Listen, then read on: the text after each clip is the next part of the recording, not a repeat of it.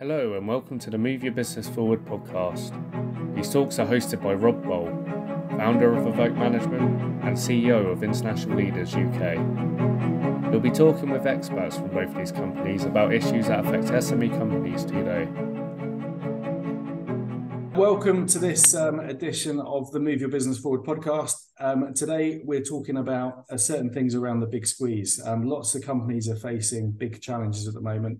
And today, I'm joined by two of my colleagues who are experienced finance directors, and we're going to share some thoughts and ideas around that. So, I'm really pleased to have today Phil and Colin joining us. Um, not to be mistaken for Phil Collins joining us today, but Phil and Colin.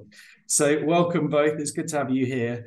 One of the first topics I'm going to talk about in this in this um, series is cash flow management. I think every SME business and every big business, come to, come think of it, and the and the country as a whole um, is is challenged with cash flow management right now. And what I want to do is just share some thoughts and ideas as to how companies can really help themselves. Um, from your experience as, as, as running companies and being experienced finance directors, what kind of things companies can do to help with with cash flow management. Colin, what what springs to your mind first off when it comes to cash flow management? And obviously, thanks for being here today. I'll go first, um, proper startup land. That's Shoreditch Church behind me, so this really is a startup theme. um, cash flow management. Well, if you'd asked me that 18 months ago, I'd have said it was an absolute cinch because it was COVID times and you just lean on the government, the, the, the PAYE, VAT, bounce back loans. It was easy. Those days are long and true. They're, they're long gone. They're, they are they are over. There's a new VAT regime in place. Really difficult to mess around with the VAT now. PAYE likewise. They're really reining in what you can do. Um, typically, if you want to get money from HMRC, you're looking at a loan of about six months payback, really good interest rate. If you can avoid the fines, which you probably can, so long as you keep a dialogue going with them, HMRC is still a really good short source of short-term funds. Just make sure you phone them on the day of the deadline. Um, give them a story that is actually true, rather than just giving lot of old nonsense. Because in a month's time, they'll put you on a six-monthly direct debit. In a month's time, if you're abusing the direct debit and you're, you're caught out, they're going to throw the towel dustbin whole lot at you. So, so be careful on that. But setting up short-term cash with HMRC right now, not as easy as it was, but still, so it's okay. It's fine. Six months. Cool. And in terms of just just what you um are going to present to um either HMRC or anyone else, I mean, and we're talking about companies not necessarily just startups, but more established companies where just things have become tight. Um, anything else that you would make sure is well, well, I mean, question one from HMRC is is that the HMRC should be the, the last resort. So you've got to tell them what else you've done to try and find short term cash. Um, so our other source of short-term cash would, I mean, fundamentally, um, it's not a bank overdraft. They just don't exist these days. I mean, you, might get a temporary one for a few thousand because you've made a mistake on paying a supplier too early. So I'd almost say don't bother phoning the bank. That's just wasting the time. Um, invoice factoring still very good. Um, they, they, are there are a lot more players out there, um, uh, more international. So historically, they've said you know, look at your your receivables list, and so it's not blue chip British companies. Now they're getting much more amenable. Um, so factoring is still very good. The, the, the, question a lot of people will obviously immediately ask is tell us tell us about your directors. Have you got rich directors that want personal guarantees? Personally, I would just stop the conversation there. I wouldn't go there. If you get to the level of personal guarantees, then the directors themselves must have just put the money in themselves. I mean, it doesn't really achieve anything if you've got a PG. So I certainly wouldn't do that. R&D tax credit loans, and if you're in the world of R&D tax credits, they're, they're again a lot more players out there. Three or four years ago, there was hardly anybody doing it. Um, Rocking Horse Group, if you've come across them, they're probably one of the first. They're they're very good. I've used them a few times. Um, R&D tax credit loans, that's low hanging fruit. You basically they will advance you money, and when the R&D tax credit loan is repaid, it goes back to the lender. Mm. Um, I don't know what they're lending these days. I would guess like 60, 70% of, of your R&D tax credit claim. They're not going to give you 100% because HMRC might kick back and you're not going to get the full amount of the claim. So yeah, R&D tax rate loans, they're very good. Um, I'm not really in the world of inventory, but inventory, if you've got some sort of stock that you can secure against, Um, that that is always a useful thing to do, but you're not going to get a lot from that. Not not in my SME world, you're not. In a big company, you might. Um, but apart from that, any assets you've got in the business, any fixed assets, uh, just assume they're worthless. I mean, you, you know, no one's going to lend against a bunch of fixed assets. You know, PCs, a second-hand PC, it's, it's worthless, isn't it? Um, so, so, so back in the day, you know, you could secure against random fixed asset register stuff, kind of unless you're a really niche company with something special, I wouldn't go there. Certainly, any manufacturing equipment, it's probably too difficult to move it. Of course, the lender's just thinking, you know, if you default on the loan, I'm going to end up with this asset. Do I want it? And the answer is probably no. Mm. Too difficult to move. It's too bespoke. Can't flog it. So, so fixed assets, unless you, have got something really special about your company, something different, I kind of wouldn't go there. And of course, the you know the ultimate short-term port of call is, is your shareholders. Um, and actually, I mean, I use them a lot myself. I mean, I really am in the startup world. I, I do like you know someone with an idea, uh, and the shareholders have already put some money in, um, and they're surprisingly amenable. I mean, typically, I would say, given you know one percent interest a month, um, secure it over something, um, and and you know if they if they're sort of you know wealthy enough or dumb enough to invest in your business, they've probably got a little bit spare spare cash this they've got in a bank account earning three percent interest or something like that, and they, it's not just keen to help out; they might actually see an opportunity for themselves to earn a bit of interest out of you. So, I, I, I mean, in my experience, far too many people ignore their shareholders, and the shareholders actually, you know, both want you to succeed, and you know, they probably got a bit of cash, might even have a bit of surplus cash, and you know, they, you know, just it's not we're not seeing, talking long term loans here. You know, three six months, and they lend you a bit of cash one percent. Colin, I think I think I think there's lots of ideas there to to, to think about how to, to source additional funding, and, and some people won't have think thought of those. So I think that's really um really useful. And and Phil, just before we I bring you into this, I don't know if you've got any any further thoughts as to what Colin's Colin's mentioned there. Um, I think but, that yeah. I mean, I was going to say to me when when you said kind of cash flow management for me, it would be a lot of the SMEs that I to kind of coming to contact with uh, there is that uh, a little bit of a, both I say advanced planning in terms of having a little bit more foresight to plan for the future and not shoving your head in the sand that you uh you know you, everyone has a wonderful financial uh forecast model that would indicate that their sales are going to grow by 25% month on month year on year. And reality is that things like that don't tend to transpire. So for me i would be looking at uh what what kind of model have you got in place at the moment? How far does that go in the future? And then how much uh, capacity how much stretch have you got within that? Because I think a lot of it is basically planning in advance. I mean i think all of the things that Colin's mentioned yeah they're ideal for basic sources. You know some of that a few that i'm maybe not if i'm going to steal because i'm not i'm not familiar with particularly the r&d loans thing. Um, i mean i've claimed for an r&d but those kind of things are great. It's more a question of a lot of the, the, the SMEs that I work with. It's like they haven't they haven't got that forward plan to be able to to to base it on, and therefore whether it's whether it's uh, that and or the fact that they're not being realistic about what they're they're going to be able to achieve I think that's the starting point for me in terms of once you've done that, then yes, it then becomes a you know you have you know there are conversations to be had about well where can you get short term i mean i agree about the bank overdraft. It seems very difficult to be able to get anything out of a bank unless you're going to provide you know you know guarantees overdrafts or you know overdrafts or loans. But um i think definitely that model having that in place and having a certain amount of flex within it to understand what is the future i think that's a starting point for me Sure. And, and, thank you, Phil, for sharing those those thoughts. So one one thing that occurs to me is obviously a startup, early stage company.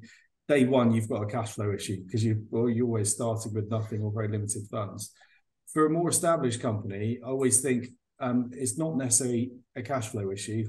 It's really the fact that something hasn't happened to get to where you are. So the sales you were planning haven't come through. You've spent too much on staff and, and other overheads so often the cash the cash flow challenge is the result of something not going to plan in the first place. So I wonder if we can just share some thoughts as to how to avoid getting into that scenario. And I, I understand for some companies that the day one they've got a cash flow challenge because they're trying to bootstrap a startup. But for a more established company, that's trying to prevent themselves getting into a cash flow challenge, what are the things you would be suggesting they're looking at, Colin, to making sure? And this is ideal world because we're, we're in uncertain times and challenges. But what would you suggest?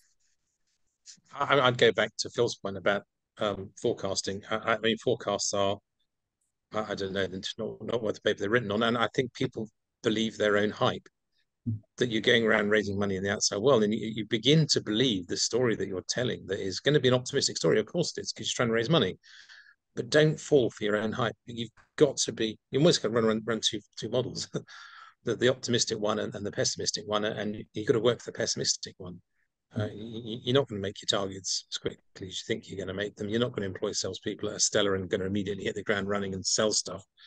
Um, so, I mean, forecasting, of course, is absolutely crucial. And you, you know, people do generally fall foul of either not forecasting or not forecasting pessimistically enough.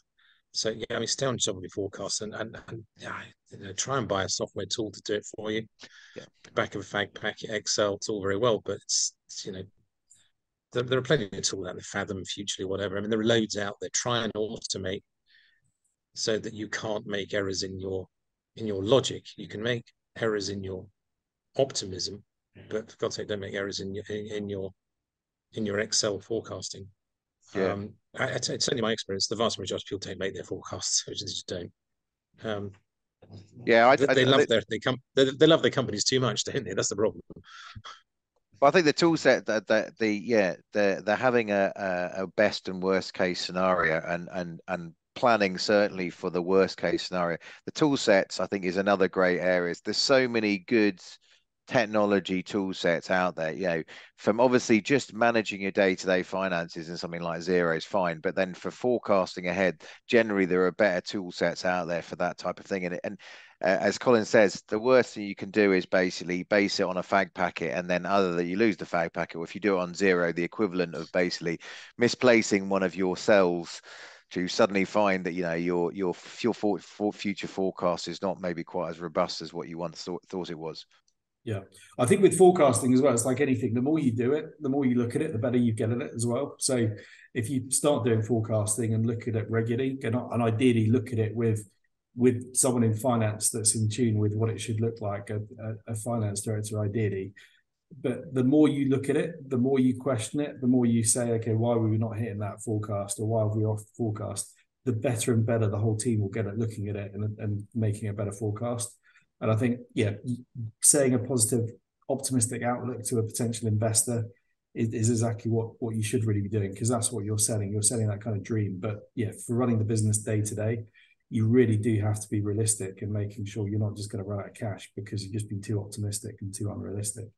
So just just circling back, I mean, just and the whole purpose of this was just talk about some top tips around cash flow management. So, Colin, if you were going to advise a business owner listening to this to do one thing, what would be your top tip regarding cash flow management you would encourage them to do?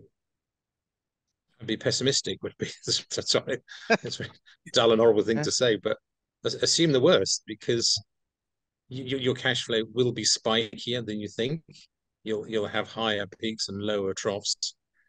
Um, uh, that's not necessarily doing anything. It's it's your your way of thinking has got to be pessimistic. Yeah, and I, and I guess with that, if you approach everything so pessimistically, you can then start thinking differently about actually how do you take some of that uncertainty out of the equation?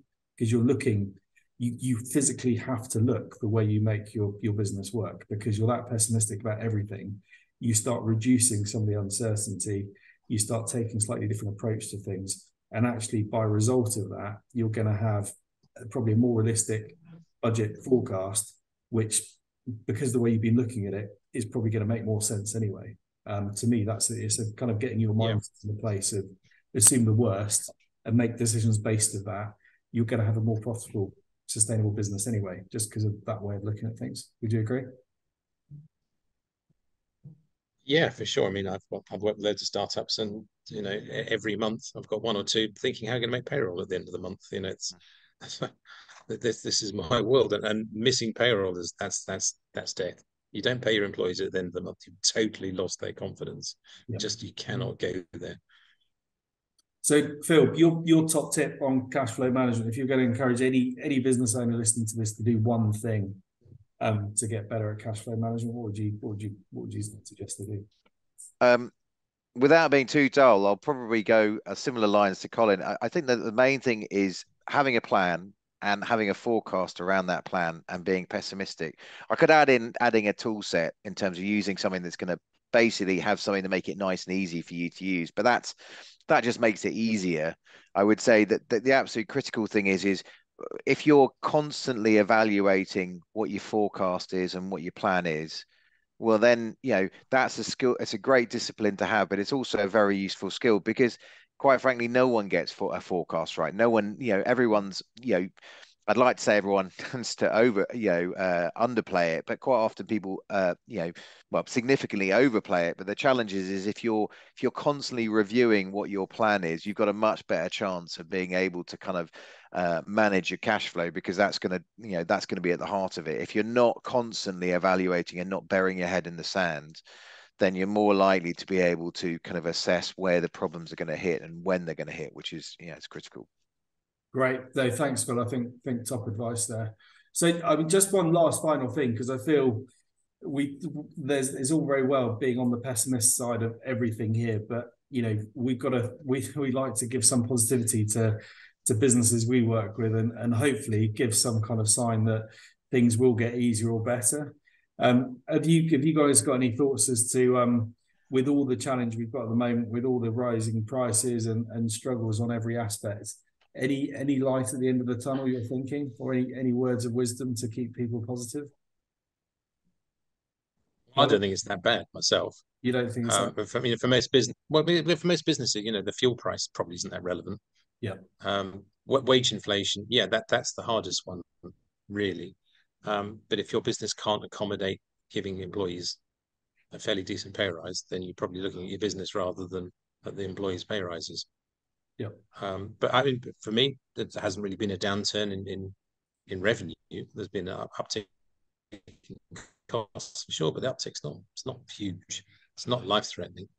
So yeah, I mean, for me, it's kind of business as usual. Really, it's not too bad. Okay, well, that sounds good, Colin. Obviously, some of the companies you're working with are in a in a positive position. And Phil, any any positive thoughts you you would share? Um, I think there's um I think there are some. I'd, mm, I'd say some of the businesses I work with uh, are seeing more of a squeeze than others. Um, some businesses are, you know, I would say benefit from the current situation, but certainly aren't it seriously impacted. I think it really depends. Some of the businesses that I work with are potentially um, they're finding it difficult. I think there is uh, the, the, positive side at the moment. It feels like that this is, um, you know, the current, you know, a lot of the current trends that are ongoing at the moment are not you know uh, they're not they're not going to be they're not going to be as impactful as other people had previously previously indicated i think uh, you know i think it's it, it really depends on the it's, it's so specific to the industry you're in at the moment. So certainly in tech businesses at the moment you know there's there continues to be a lot of opportunity whereas in you know manufacturing and other businesses it really depends as colin says if you can afford to be able to cover some of the uh, changes in the environment such as increases in wages then you know there may not be any impact at all. If your business is facing those kind of squeeze points and you can't afford to, to, to you know to increase wages or be able to cover your costs then it's a very different situation. So yeah cool okay well look, thanks both for sharing that i think there is i, I do think for, for it's not the same for every business there are some some opportunities to to improve um, how businesses are and how they're feeling and all i would do is encourage people to talk to other people and um, talk to us and, and see how we might be able to add some value and help. Um, so, look, um, Phil Colin, thanks so much for joining um, this podcast. Thanks for listening. If you'd like more information about the topics discussed in this podcast, then you can find us on our website at moveyourbusinessforward.com.